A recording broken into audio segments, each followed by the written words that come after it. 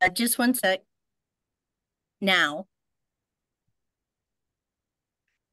We can start admitting people.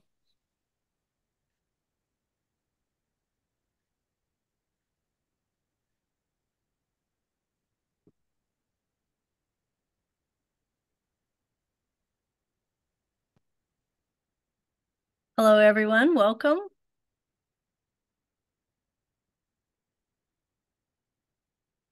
Just waiting for people to come in from the waiting room and then we'll get started.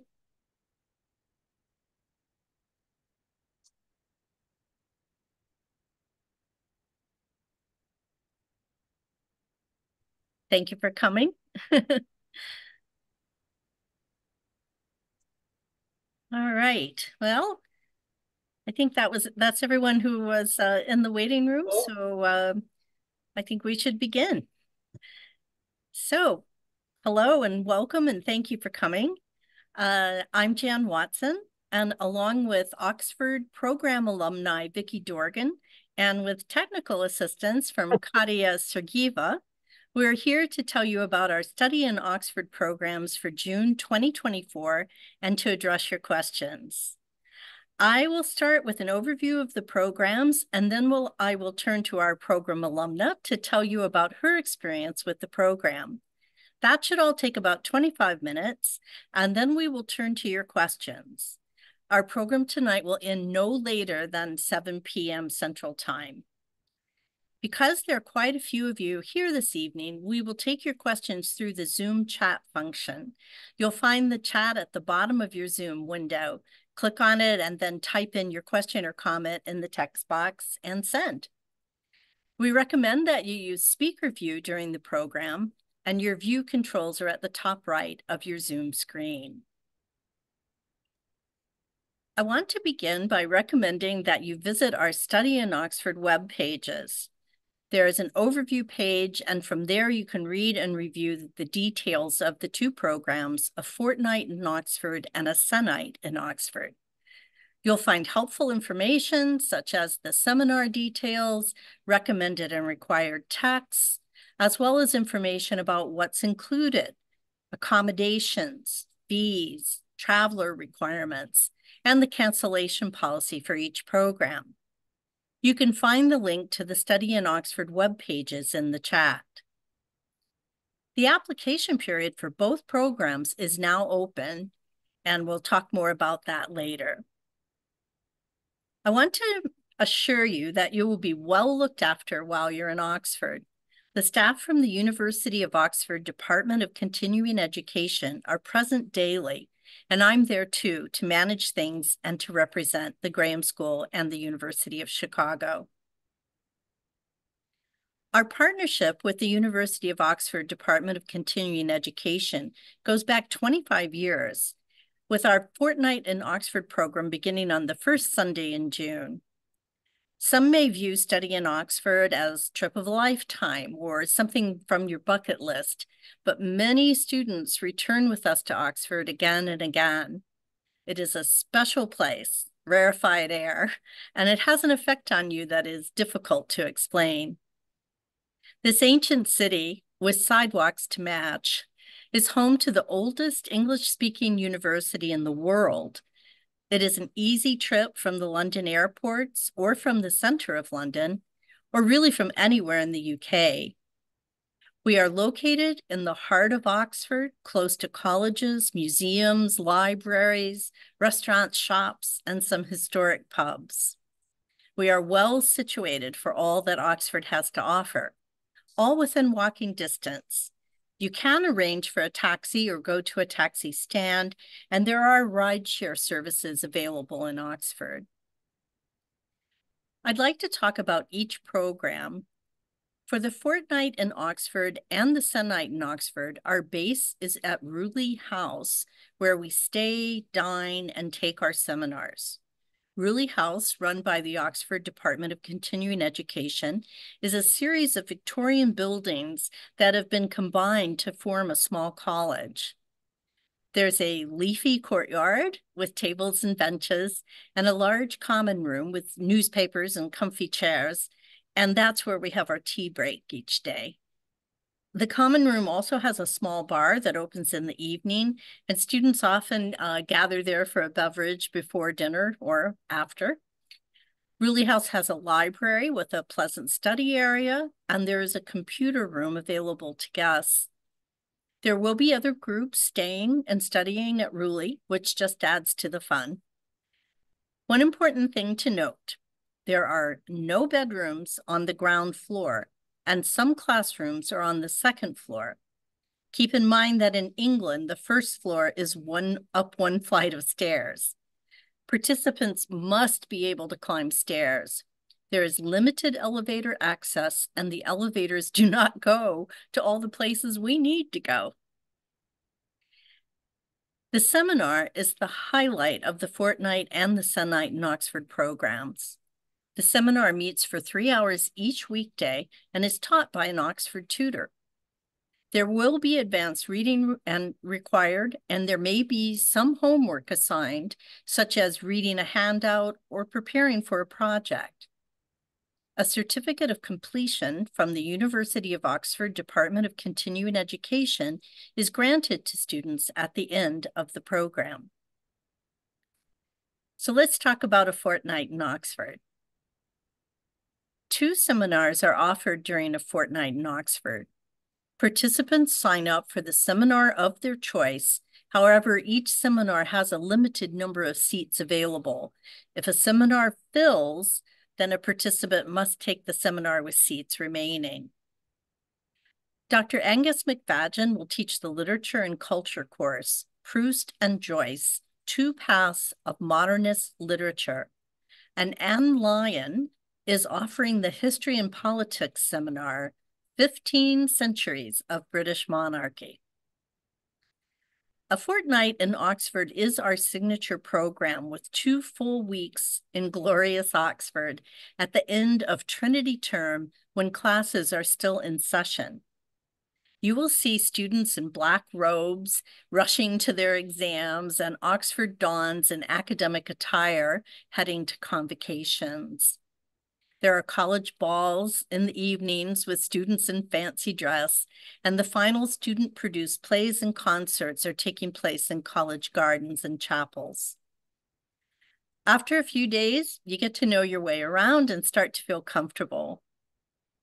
Our days begin with breakfast, then we go to our seminars, and we have a tea break scheduled halfway through, and that's followed by lunch.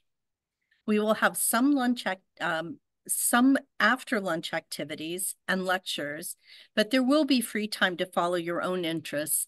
And one day of the weekend is open for side trips to tour the Cotswolds, go to uh, even Bath. The fortnight can accommodate 28 students, providing lots of pleasant companions during the two-week program. So what's included? Your tuition covers your seminar, your housing, and most meals. We'll take an afternoon trip to Kelmscott Manor, the home of designer William Morris, and another to stately Rousham Gardens. In Oxford, we will enjoy a series of afternoon lectures, take a guided walking tour, and enjoy a highlights of the Ashmolean Museum tour and will attend an evensong choral program in one of the college chapels. Again, there will be free time to pursue your own interests. All right, let's touch on a Sennight in Oxford.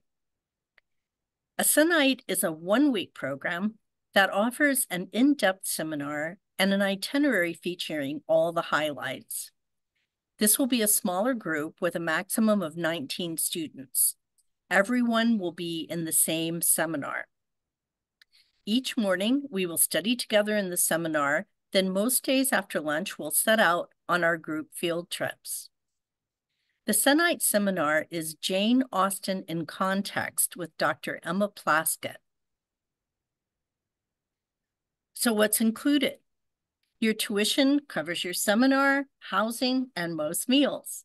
Field trips include a walking tour of Oxford and its colleges with a Blue Badge guide. we will tour the Pitt Rivers Museum and Natural History Museum, which is an impressive Victorian structure filled with an amazing collection. Towards the end of our week's day, we will intend, attend an Evensong choral program at one of the colleges.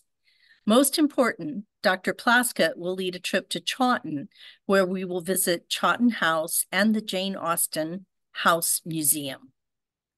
For a special evening, we will enjoy a dinner in a dining hall at St. Edmund's Hall. So let's talk a bit about traveler requirements. The study and Oxford programs are open to anyone interested in educational travel, including Graham School students, UChicago alumni, friends of the university, and other lifelong learners. Participants for both programs should keep in mind that the programs require considerable walking and that buildings are historic, meaning there are limited elevators. As I've said, most bedrooms and classrooms are on upper floors. Travel and medical insurance are highly recommended. The University of Chicago does not offer this type of insurance, nor are we experts in that field. If the program is canceled by the University of uh, Oxford or the University of Chicago, and you are still registered, a full refund will be given. Highly unlikely that that would happen. So more about uh, applications. Now, I suspect you're curious about the process, and it couldn't be easier. You go to the Graham School website and under programs, click on Travel Study, Study in Oxford. Choose your preferred program, either the fortnight or the Sennight, and click on Apply. Next, you will see a page that looks like this. Note the course and section number, and then click on Apply Now. Then you will sign in, as many of you do, when registering for any Graham School course. If you are not one of our students, you will create an account using your email as your username and create a password you will remember. You will need the course code and the section number, and you will need your passport information and emergency contact information in order to complete the application form. There are three sections to the application, personal information, special needs and requests, and the program acknowledgement. Each section is just a few questions. We ask you about your UChicago affiliation or degree year. If you did not go to school at UChicago, that is not a problem. Your affiliation could be that you are a basic program student, or you take other courses from the Graham School, or that your children or grandchildren attend the university. Perhaps you attend online lectures, Humanities Day, or subscribe to Court Theater, or you are a friend of the university. We also ask you about your non-UChicago education background. We ask you about dietary restrictions and any disability or special need. We can accommodate many dietary restrictions, but again, very important to note that considerable walking and ability to climb stairs. When you've completed all three sections of the application, you hit submit. All right.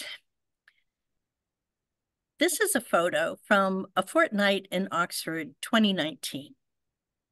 You can see that everyone is an adult, that there is a good mix of genders, and doesn't everybody look friendly? we always have a good split between couples and single participants. So this gives you a very good idea of what an Oxford group can look like. Now at this time, I'd like for you to hear from one of our Oxford program alumni. I'll turn things over to Vicki Dorgan, who has attended the Fortnight in Oxford twice, and this year will attend the Sennight program. All right, take it away, Vicki. Great, thank you very much, and um, welcome to all of you to this um, seminar. In um, It's a terrific thing to consider. It was just um, three years ago that I heard about the um, Fortnight at Oxford on the life of Winston Churchill, and um, I actually remembered Winston Churchill's funeral when I was a when I was a girl. So, um, and my dad was in World War II, so it was something that was real important to me. And I went, and I had no idea just how delightful the experience would be. We went to um, Blenheim, the um, um, home of um, Winston Churchill's father. Um, you know, his father was a second son, but anyway, um, and it was just delightful to have that experience. The guide took us into the special room where Winston Churchill was actually born when his mother danced too much at a house party and uh, went into labor. Um, and um, it is just, we're there in the summer. It's beautiful in the summer. The light is um, out until nine o'clock at night. Um, I felt very, I would always take very long walks after dinner, and there's many places to walk. There's many places to explore. Um, um, going into the um, different colleges um, and the um, Evensong that we went to um, both times has just been magnificent in terms of the beauty of the voices and then sitting in this magical chapel at uh, College and then um, I think Wals Wolseley College. So um, it's been a delightful experience. Um, I found the food very accommodating. I um, um, tend to eat vegetarian and they had plenty of options. Um, and the instruction was just first class. It was great. The people were very friendly we had a good time talking and I've made several very good friends from both experiences, people that I'm emailing with quite a bit and going and seeing and doing things and getting together with them. So it's just really uh, a very terrific um, experience. Um, and um, it's indeed true that there are stairs to climb and, and in the summer there isn't any air conditioning. So um, but there's plenty of fans and you just it's it works out okay. So it's it's delightful. I'm trying to think of what else. Oh the first summer they didn't it wasn't there last summer but the oxford playhouse is just down the street from Rewley house. And the first summer i was able to go to two performances of these plays that come in and they were 10 pound tickets which is you know something that I did when I I went to school in London um, years ago, and um, there were the ten pound ticket, five pound probably at that point performances, and it was just it was just terrific. It was um, it was nice. We I would go to tea. There's this lovely little um, tea house um, right next to the uh, Radcliffe um, Observatory, or or what what's that called, Jane? The Radcliffe camera, camera. the Radcliffe camera, right, yeah. right. And um, just delightful, and and it's actually in the in the vault of a of a church, and um, I would always, you know, allow myself once or twice to go over there and just sit there, and the birds would be on my table and having a scone, and it's it's just delightful. There's so many places to explore. It's it's i can't say enough about it. And it's a rigorous um, academic experience too the two history courses that i took. Um, so the the churchill course and then the second course that i took was england between the um, two wars. And um, i learned a lot there because i didn't know that much about it. So it was it was great. So that's me nattering on a bit and I'm happy to answer any questions. I'm trying to think of um, of what else. No, I think that's good. I've covered just some of the points, just experience of things. Oh, and then we happened in on a, I think it was a five pound theater ticket of a student production of Enemy of the People. As um, Jan said, um, they have the student productions during that time. And so another um, woman and I went over there, and it was just fun. I mean, we just would do things, you know, we just kind of let things happen, which was really nice too, because you're not in your normal routine. So there's a lot of opportunity to really just explore. So there we go. Well, thanks, Vicki. Um, there's a, a question in here that um, I think you're best uh, able to answer. The question is, is there writing papers, exams, or the like required? Now, in the literature seminar, we don't have any of that, but you've experienced uh, some projects in the history seminar, right? That's correct. We had um, a project and then there was an optional quiz that um, the professor gave. And the project, for example, um, last year it was well in in two both both years because um, uh, um, what the teacher did and the very first time it was I think it might have been the first time that he taught he came up with this idea of the project and everybody's like oh no no no I'm not going to do that and then by the beginning of the second week we started to get into it a little more and we just had um, people would look into various aspects. For example, for Churchill, someone talked about his cigars and did research on his cigars. Another person did research on all of his daughters. Um, someone wrote a little play. Um, there were just a variety of, of different things that that happened with that, and that was terrific. And um, same thing, same thing the next year. And it was just fun because people gave different, um, you know, you were able to dig into the topic a little more. And two, you were really engaged and you went, you went to the library and looked things up, or you went over to um, uh, Blackwell's and found a book on something and and bought it and read it. So it was fun. It was it was a different way. It was a deeper uh, relationship with the course material. Uh, Blackwell's, if you don't know, is a, a, a pretty famous uh, bookstore, and um, uh, people spend hours in there. Uh, people who come on our programs, they can't wait to get to Blackwell's, and then they just continue to go back uh, day after day. It's a it's a fabulous bookstore. Um, okay, I'm going to look through some of the questions here. Uh, there's one question that's asking um, how money is handled. So um, if you haven't been to the UK uh, since the pandemic, um, it's changed quite a bit. And uh, the, the touchless um, card system is pretty much everywhere now. Um, last year, I was in England for five weeks and I think I changed a hundred pounds and I still had money left over at the end. I was like purposely trying to spend it. Uh, so really the, uh, you know, the, the card is, is what they're mostly looking for um, these days. And you can use it for almost everything. Is that what you experienced, Vicki? Yes, absolutely. Yeah. Okay.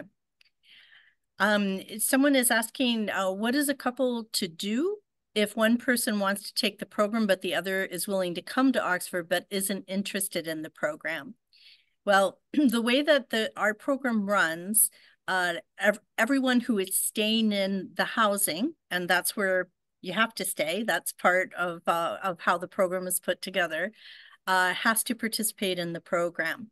I can say that last year at uh, the Sennight, there was a woman who was in this position uh, that her um, partner did not want to participate, but he wanted to come. Well, in the end, he decided he would participate, and he was one of the most active people in our discussions. He was just a delight to have with us, so you never know. Um, but yeah, it's not really, uh, the tuition includes the housing, and if you have a single room, that's for one person, not for two. Yeah. Uh, let's see, what else have we got in here? Um, okay, someone's asking again about what's included. So airfare is not included and your ground transportation um, to and from uh, London or wherever you're coming to Oxford from is not included. But once you're there at Rewley House, you have your accommodation, you have um, your seminar, you have all the field trips and any transportation that's involved in that. And um, most of the meals are provided. Now, the reason I say, say most, there's always breakfast and uh, there's lunch all but one day, I think. But we've found over the years that because Oxford has a number of really nice restaurants, um, people want to have some evenings free from Rewley House so that they can uh, go out to dinner and experience some of the other uh, places. Um, so there are a few nights um, when when dinner is not provided. Um, so it's really pretty much an all-inclusive except for those meals, and it does not include um, your airfare. Now, there was a question uh, earlier about what a twin room means. So uh, the rooms are single rooms. And if you have um, a twin or a double, it would either have two beds or one bigger bed for two people. Um, so it, it's not like a suite where where each person has their own bedroom. You you would be sharing um, the same bedroom space, but all of the rooms uh, have a bathroom.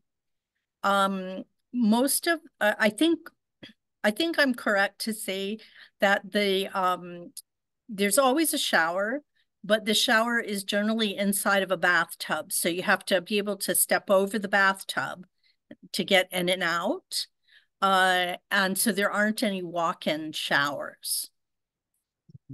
Um, let's see. Partici this is a question about um, access to libraries and museums and visiting other colleges, etc. So you have access to the library at Rewley House, which is pretty good but you don't have access to other libraries in terms of being able to go there and um, study or to, um, you know, check out books or something. Um, there, you can tour the main library, the, the Bodleian Library, and you can tour the Weston Library, which is part of the Bodleian system. Uh, there is a fee for the tour of the Bodleian, and uh, you just go there and sign up for it. I, I can't remember what the price was last year, but I think it's pretty reasonable. Uh, it's very interesting uh, trip. The museums in Oxford, for the most part, like the Ashmolean and the Pitt Rivers, are owned by the university, and those are um, free admission. Um, for visiting colleges, because um, during the fortnight program, uh, there are a lot of exams going on. And so the colleges will post when you can visit and when you can't. They're very concerned about keeping things so the students uh, can get their work done. Uh, and um, they don't want people um, even talking in the courtyards and stuff while the students are in their rooms studying. So you know, if there's a particular college you want to see, like let's say you want to see Merton, by example, you'll be able to. You just have to kind of manage uh, when they're allowing people in and when they're not.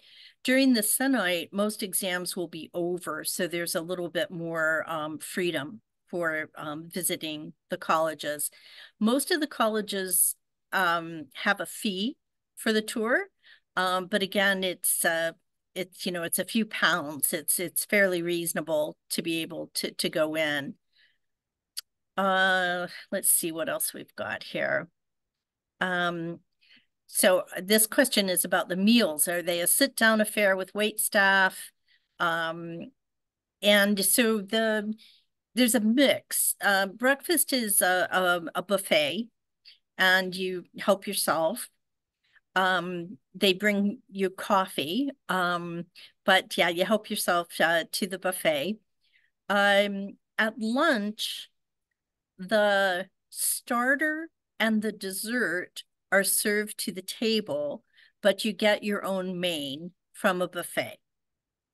And at dinner, it's um, all uh, plated, so you're you're sitting down and being served each program will have one special dinner. I mentioned that at the Sennight, we have St. Edmund's Hall booked, um, one of their dining rooms for the dinner. Um, I believe for the fortnight, we've been having a little trouble getting space because of um, exams and convocations and stuff. But I believe that uh, we've secured space at University Church for those of you, if anybody's here tonight that was at Oxford last year, uh, we had uh, our dinner in this this upper room of University Church, and it's a 13th century room, so it was pretty well if I'm allowed to say it, it was pretty cool. and uh, some of the people from Oxford that were with us had never been in that room. Uh, one one person who was really quite knowledgeable about the university didn't even know the room existed. Uh, so it, it was a, a really special evening. All right, let's see. Back to the money top topic: credit or debit cards. Um, I don't I use a credit card, uh, so I don't really know um, about using uh, debit cards. Um, I'm sorry that I, I don't feel qualified to answer that question. Maybe you could check with your bank and ask them what they recommend uh, for overseas travel. Yeah, and ATMs um, work there the way they do here. It's not a problem. Okay, thank you, Martin. Um, is Oxford as dangerous as watching Inspector Morse would lead you to believe? Uh, that is a fantastic question.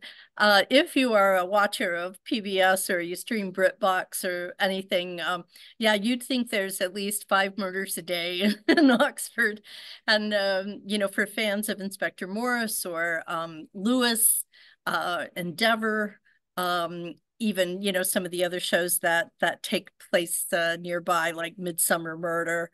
Um it it's beautiful wonderful locations for these things uh, all that gothic splendor and uh, you know pathways along the the tow path with the the narrow boats and lots of trees and places for people to hide.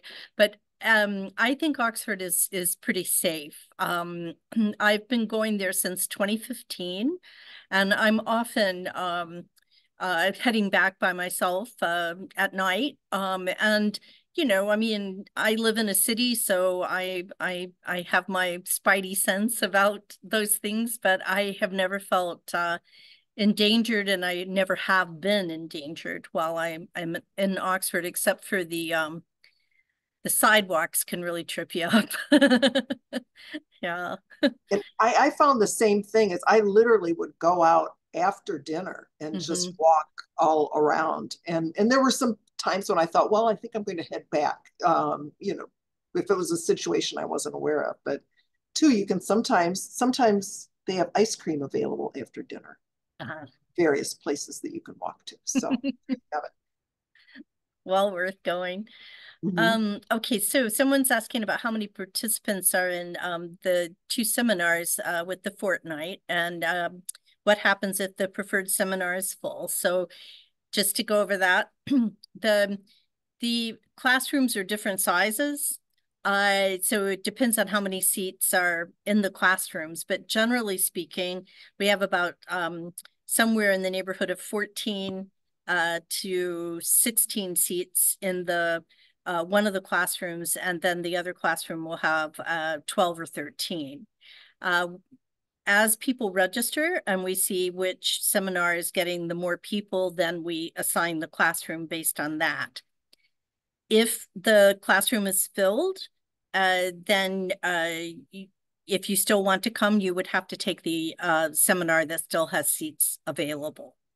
Um, we can't make the rooms bigger. And uh, we want people to be comfortable and have a seat at the table. And uh, so we, we don't want to overstuff it. Yeah. Okay. Um, don't know if I'm seeing any other questions.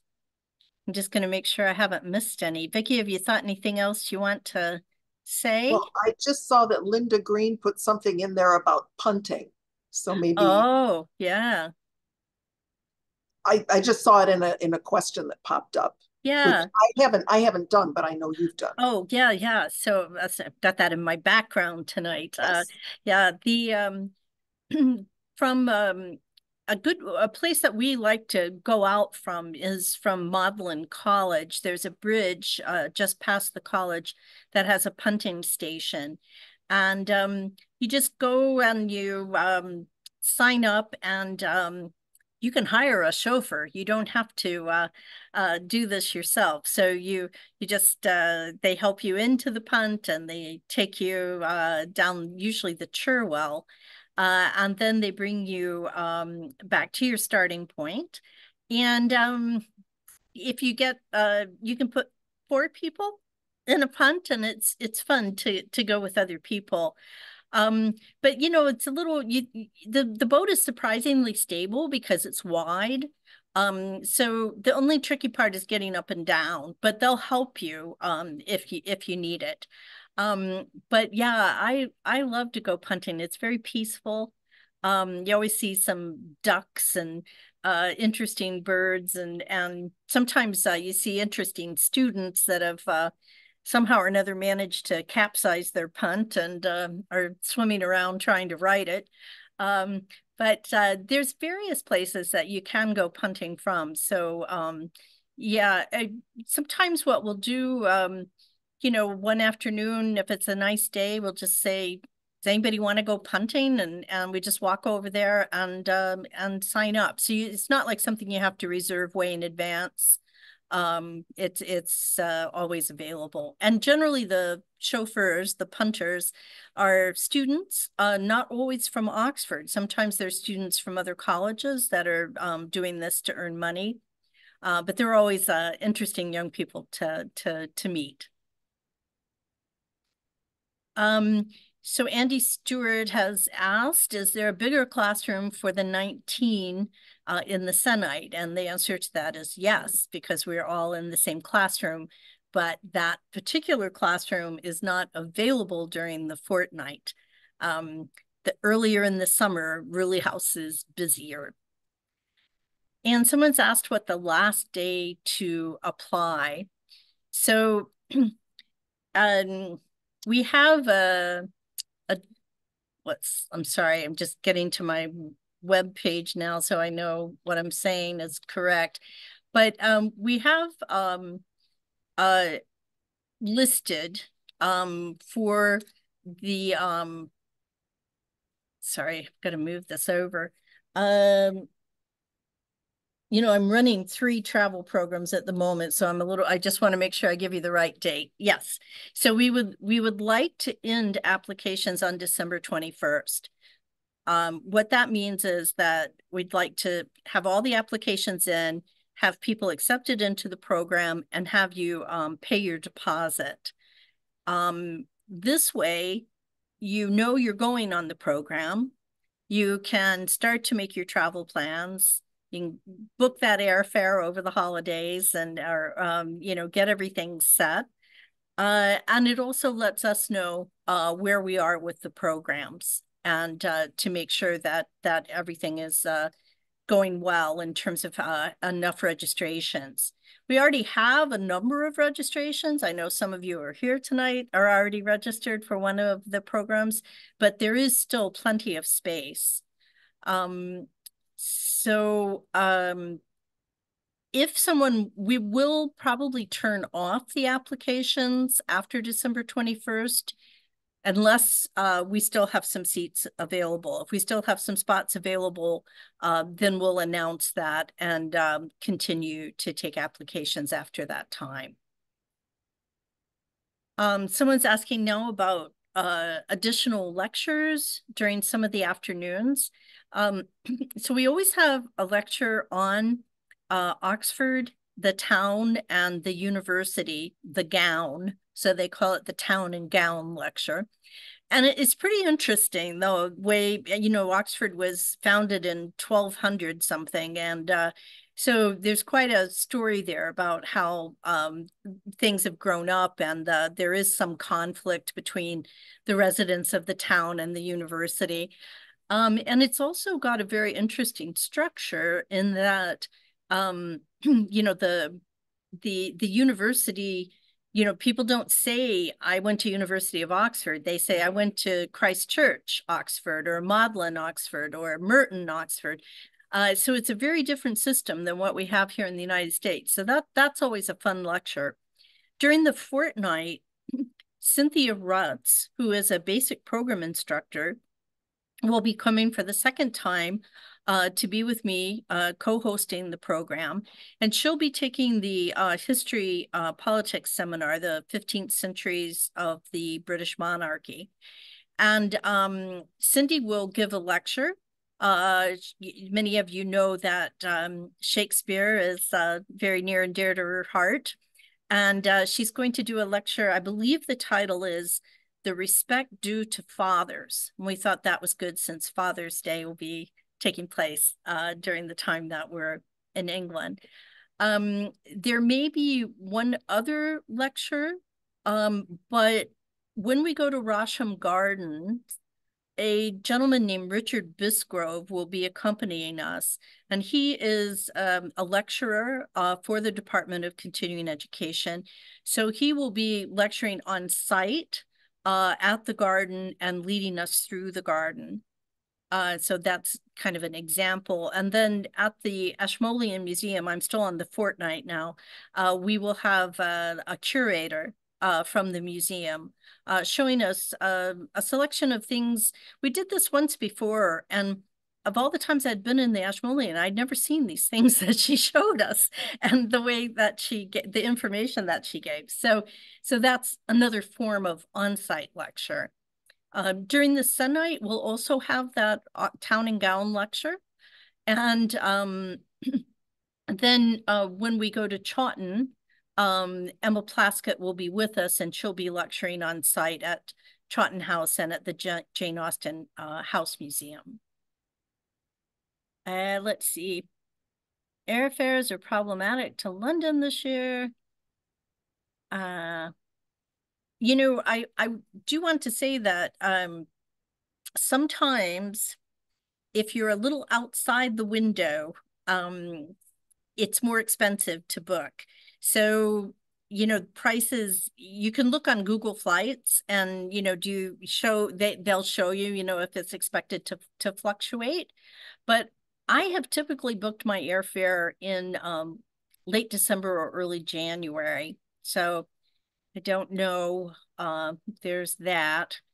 Um, yes, the programs, both programs start on the first day. So in the fortnight's case, that's June 2nd.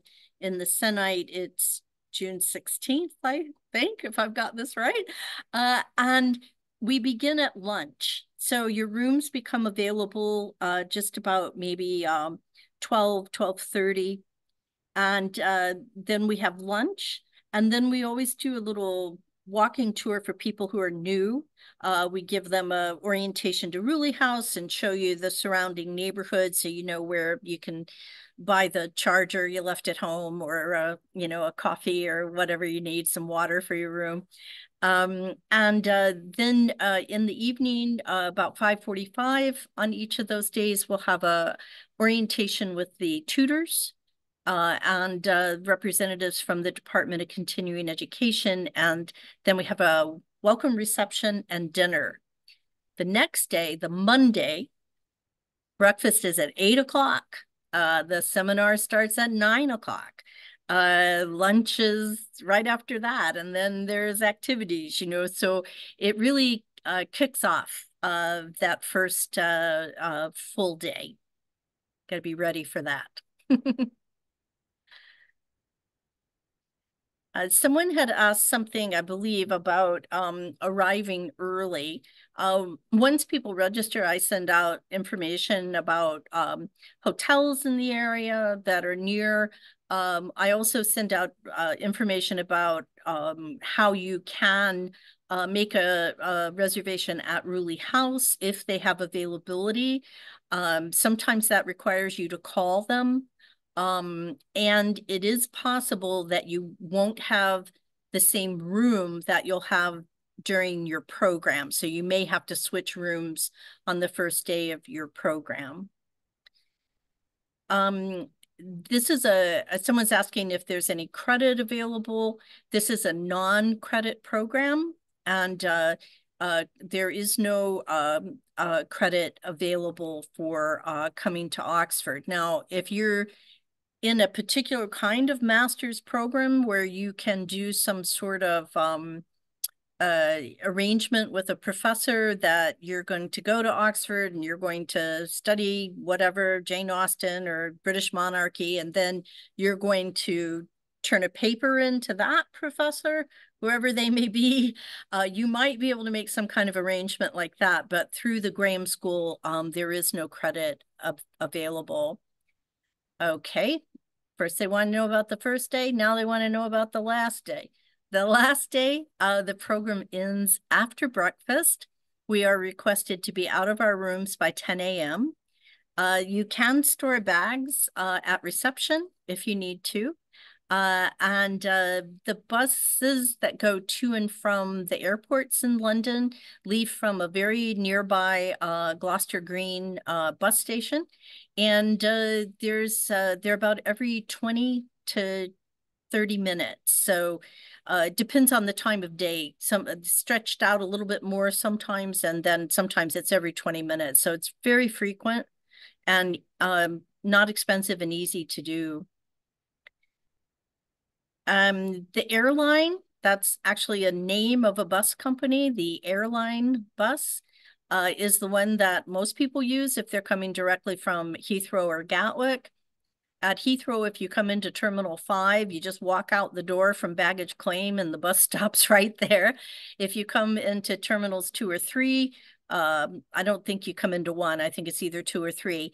Um, you go to the central bus station, which there's plenty of signage to lead you to the central bus station. And uh, then you get on the, the airline bus uh, heading to Oxford. It takes about 90 minutes. Rewley House is conveniently near the final stop on the bus. So you don't have to worry about missing your stop because it's the final stop and everybody has to get off. So that's Gloucester Green Terminal. Uh, someone's asking, are there other seminars offered one or two weeks that will be scheduled later in the summer? Uh, are the Oxford programs through University of Chicago, uh, through the, the Graham School, uh, are these programs that take place in June. So the Fortnight in Oxford and the Sem Sennight in Oxford are our programs with seminars that are specifically designed uh, for our students. All right, don't want to keep you too long. Let's see if there's any more questions coming in. I want to thank you all again for for coming and thank Vicki and Katia who's behind the scenes here helping out. Um, and uh, just, I don't know, I you know, I said in my little thing that it's difficult to explain what Oxford can mean to people. Um, there's just really something about it that is very special.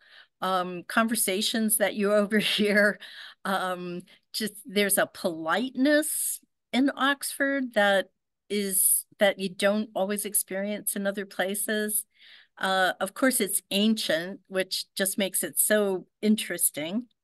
Uh, of course, they they do also have uh, lots of modern things as well, and um, uh, you know their their institutes and and uh, the things that are happening on their campus are pretty terrific. Um, but uh, uh, people that's why people come back year after year because they want to experience again. And uh, I, I hope that, that you'll decide to join us, if not this year, sometime in the future. Uh, someone else is asking, have most of the participants been from the Chicago area? So this program has always been um, open to UChicago alumni, which means that we've always had people from across the US come. Uh, when I started in the program, there was a lady from Hawaii, there was someone from Washington State. Uh, so no, it's not just people from the Chicago area.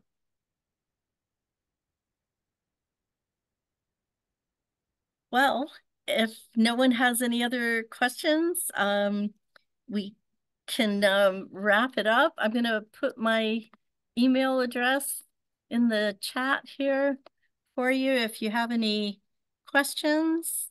I think I typed it right. Hopefully. And um, once again, we really thank you for participating. I, I hope we've uh, inspired you and answered your questions, and uh, we'll look forward to seeing you. Okay. All right. Good night, everyone. Thank you. Bye. Thank you.